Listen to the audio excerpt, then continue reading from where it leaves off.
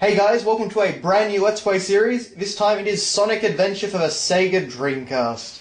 The poor, poor Sega Dreamcast. Coincidentally, this is actually the best-selling game for the Dreamcast. And uh, I believe it was a launch title in Japan and... Or uh, maybe, not Japan, actually. Maybe just in uh, the US. But anyway, very, very interesting game. This is the title that took Sonic into the third dimension.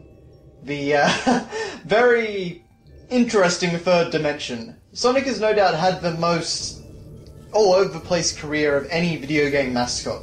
I really can't think of a character who's had games that are so inconsistent across the board. But this was a time when Sonic games were actually still remembered very fondly. Sonic 1, Sonic 2, Sonic 3, Sonic Knuckles, Sonic CD. Uh, I guess a few people might have remembered Knuckles Chaotix. This was kind of like a reboot, not in the terms of story, because this actually does follow on from classic games, and uh, there are actually some really cool references to that. But uh, in terms of like you know character designs, the you know approach to kind of music and presentation, dramatic changes to the Sonic world, and you know kind of mythos and stuff like that, it's a pretty drastic change if you're coming from Sonic 3 to Sonic Adventure. But First up, actually, a big change, of course, is we now had a vocal song. And uh, this was done by Crush 40. This was the very first Sonic song. And uh, they've done a lot of work for the series in the years since. And uh, this song here is called Open Your Heart. And it, it's just one of the many great Crush 40 songs for Sonic. You know, very kind of cheesy and, uh, you know, rock and stuff like that. But uh, very, very fun. I always really like a lot of the Sonic themes, and even like the really stupid, corny stuff, it, like even like Supersonic Racing, uh, I, I, get a kick out of. I find all that stuff really fun. This is going to be actually a very unusual playthrough of Sonic Adventure, because we are not going to be playing through the story mode. We're going to be taking what I like to call a classic mode, or a classic approach. And uh, basically this is going to be bosses and level-to-level progression. So I've kind of played through the game and edited this together. Now, the reason that I've really done this is just so that. Well, alright, well, there's a few reasons really. One, the story is pretty bad. The cutscenes are not good to watch, they're incredibly slow paced, incredibly poorly done, honestly.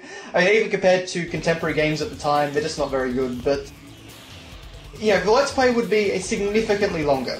So I thought it would probably be better if I just simply did a you know, much more condensed Let's Play and just focus on the really the good part of Sonic Adventure, which is the actual levels. But first off, of course, we have a boss, and this is Chaos Zero, the big bad of the game. And uh, basically what I'm going to show off here throughout a few of these boss fights is that you can kind of abuse the light speed dash to do some crazy stuff like that. Hey, I'll play with you the light speed dash is basically a, a, technique where you hold down the spin dash button until you glow and uh, kind of Sonic goes ready, and then you can kind of go and unleash a an attack which can kind of screw with some of the bosses. But uh, here we have the very first level in the game, Emerald Coast, and it is a really nice looking level. The music's great, the presentation's great, it's very colourful. It's basically like a realistic uh, Green Hill Zone, I guess we could say. And uh, this really shows that the new approach, which was basically realism, or at least a more realistic style overall, now, I personally disagree with that approach, but I do think that, you know, to its credit, Sonic Adventure pulls it off pretty well. And uh, certainly I can understand that, you know, with a new, more powerful console, they want to try and do something that, you know, took advantage of it in a way that we were all expecting. You know, graphics that were more realistic. You know, the idea of cel-shaded graphics and all that wasn't really a big thing, or stylized graphics.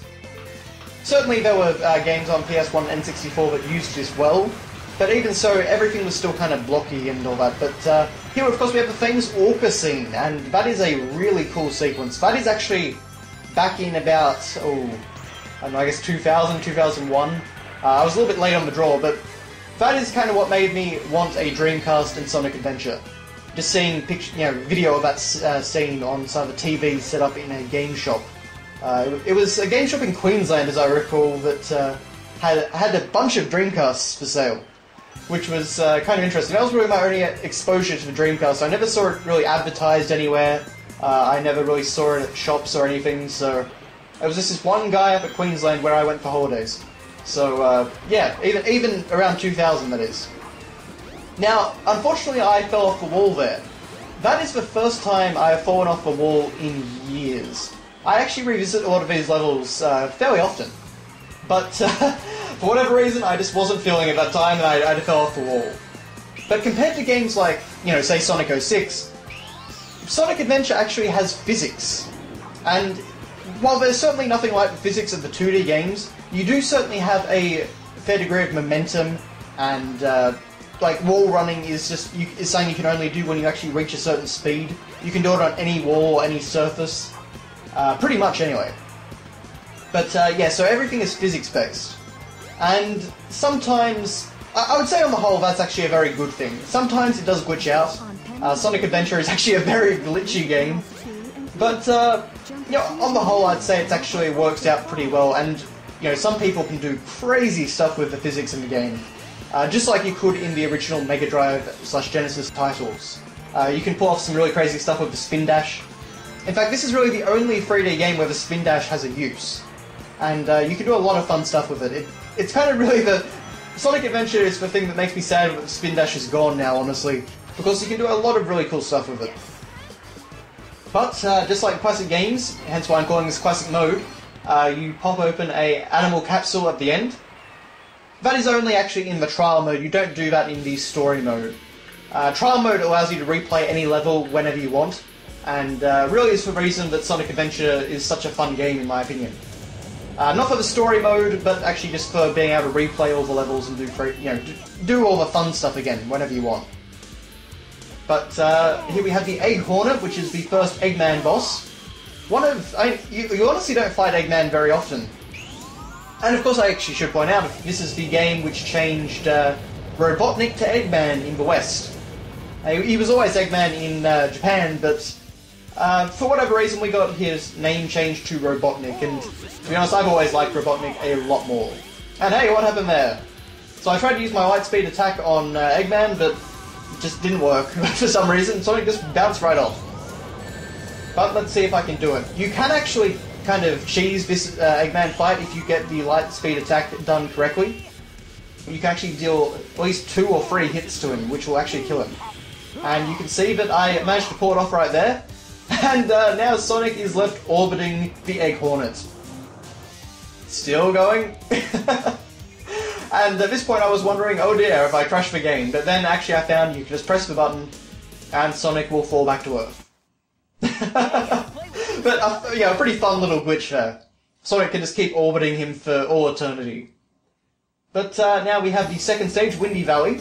And one of the really cool things you guys will probably notice is that uh, Tails is following Sonic. And there are a lot of levels in Sonic Adventure where you actually have this same mechanic, uh, this same kind of, sort of duo aspect from Sonic 2 and Sonic 3. And, you know, even though Tails doesn't actually do anything useful, you know, the AI is still incredibly dumb it is really nice, in my opinion, to see him there, and I, I really do regret the fact that Tails, yeah, really fell fell away from Sonic, honestly, in the years uh, after this game. I mean, Sonic 2, of course, he's got his own levels, but you never see him following you. Uh, you know, he, he's just re relegated to mech shooting, basically, and kart racing. Um, you know, Sonic Heroes, of course, he is actually there, so I do really like that. You've got Sonic and Knuckles with you. But, you know, Shadow, Sonic 06, uh, I mean, he, he's technically with you on the first level of Sonic 06, although I don't think he's following behind you. Um, he's just kind of you you control him for a short time. But you know, Sonic Unleashed, you fly the plane with him, and I think that's really about it. Um, Sonic Colors, I mean, he's he's with you in the story, but that's about it. Um, so yeah, stuff like that. I, I do think it's a shame that Tails doesn't really follow you around anymore because I do really like that. Now, Windy Valley is actually a very interesting level because there's a beta version of this level, which is entirely different. They basically scrapped Windy Valley as they had it originally, and uh, just completely remade it, and the remade version is what we see today. And uh oh, I was uh, got to go fasting a bit too much. I have no idea what I just said, by the way.